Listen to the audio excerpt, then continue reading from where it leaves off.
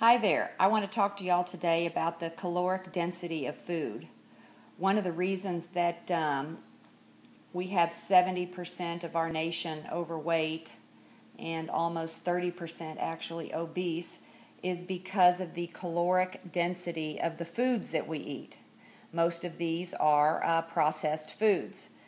So uh, here you'll see a chart um, that has across the bottom the various different types of foods, and uh, then across the uh, y axis is the caloric density, the calories per pound.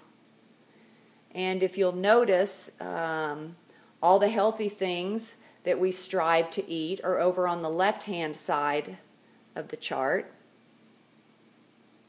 And toward the right are those things that we are addicted to, and uh, it is so hard to give up.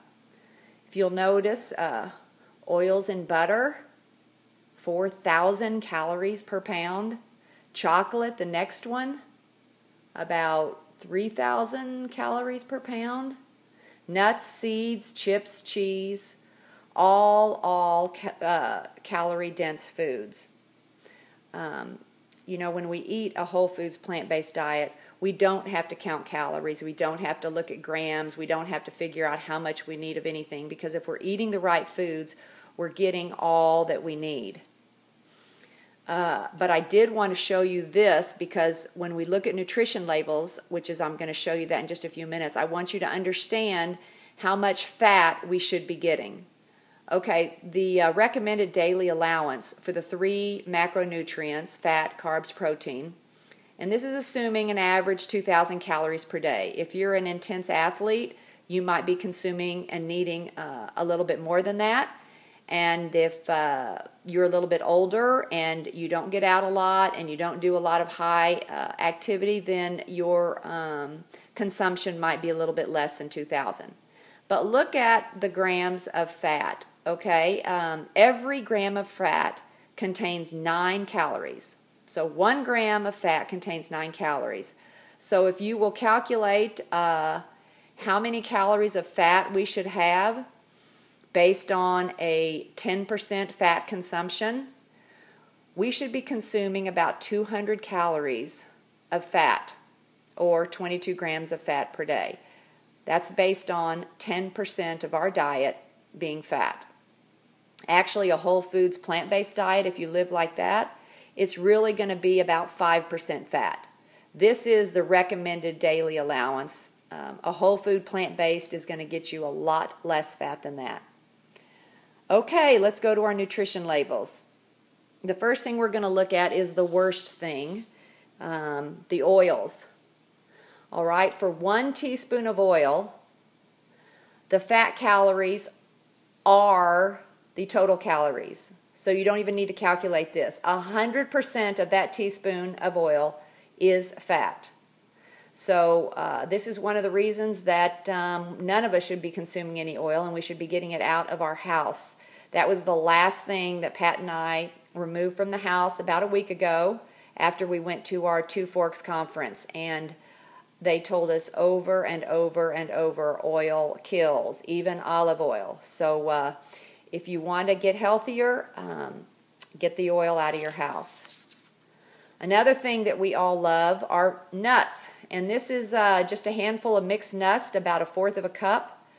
160 fat calories out of a total 200 calories. So that's 80% um, fat.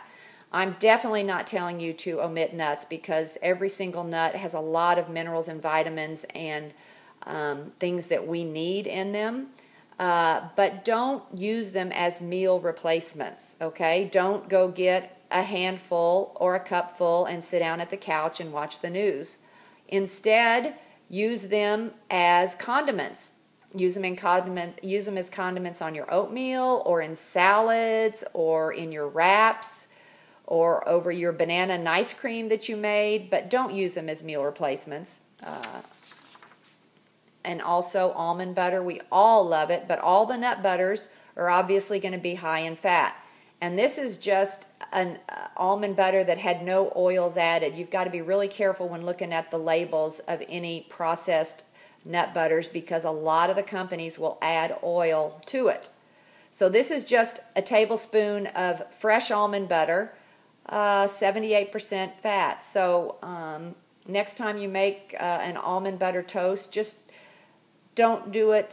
uh, Don't do a lot of it. Just do a little bit and um, get the taste of it. Um, but try and minimize your almond butters as well. Okay, we all love our avocados, but I had no idea one avocado has 247 fat calories. My gosh, that's 77% fat. So now I still buy avocados. Yes, I do because there's a lot of healthy things about them. But instead of putting a whole avocado in my salad, okay, maybe I'm just going to put a third to a half of one uh, or even just a slice. Uh, we are not using avocados nearly like we used to. Sunflower seeds, again, all your nuts and seeds are going to be high in fat. So uh, use them as condiments. Um, we put uh, sunflower seeds in our Asian cabbage salad, but uh, in a salad that serves six or eight, throwing a handful in is nothing at all. So again, use as condiments. Coconut is a really uh, another high fat food.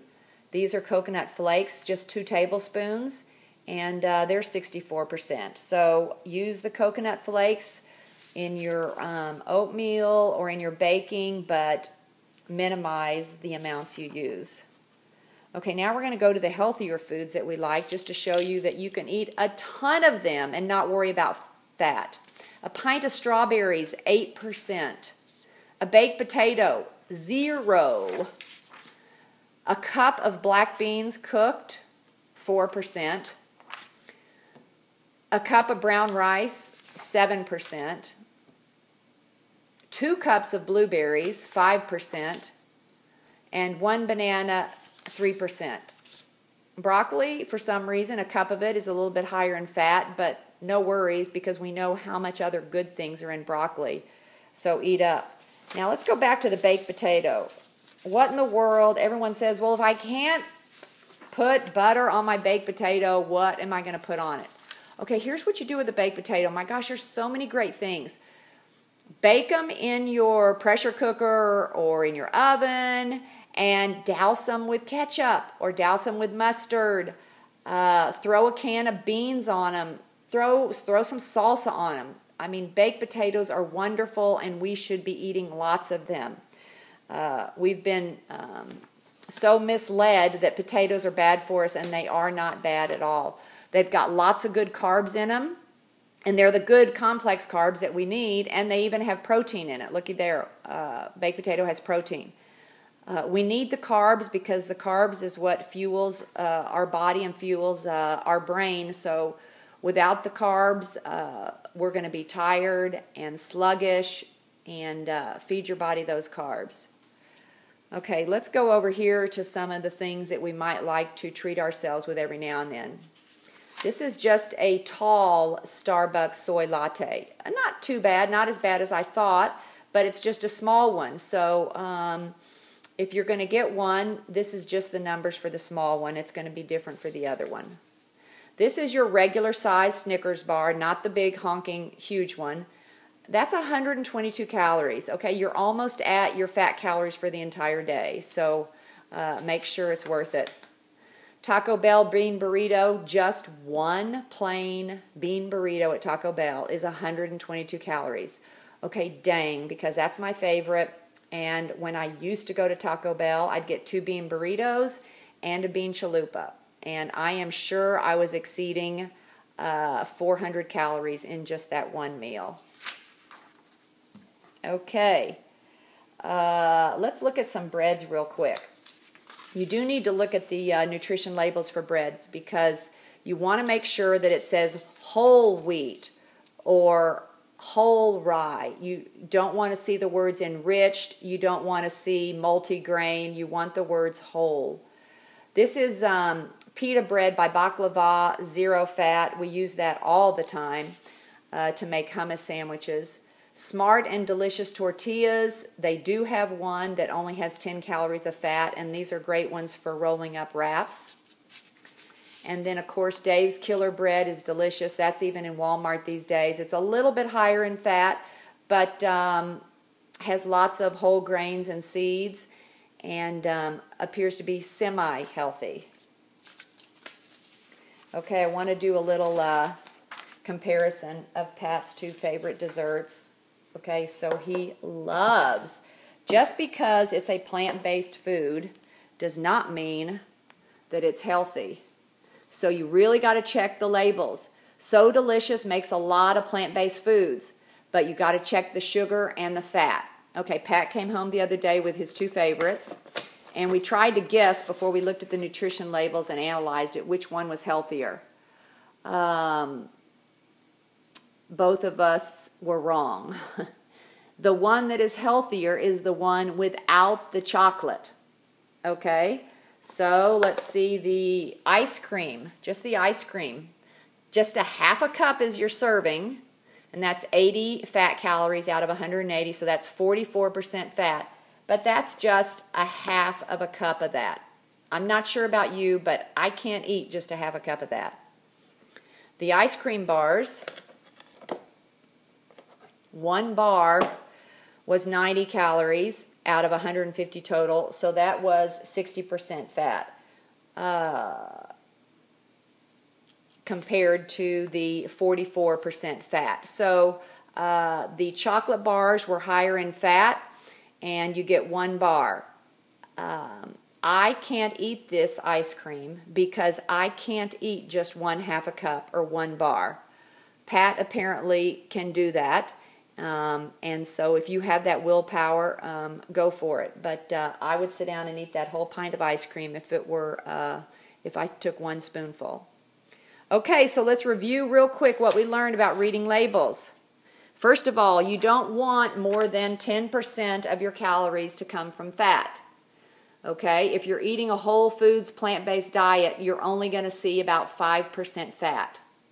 For those of you thinking about trying to eat this way, it really does work. If you stay away from the foods that are processed and you stay away from the dairy and the cheese and the eggs and the animal fats, uh, you will drop weight. Your your cholesterol will go down, and um, uh, give it a try.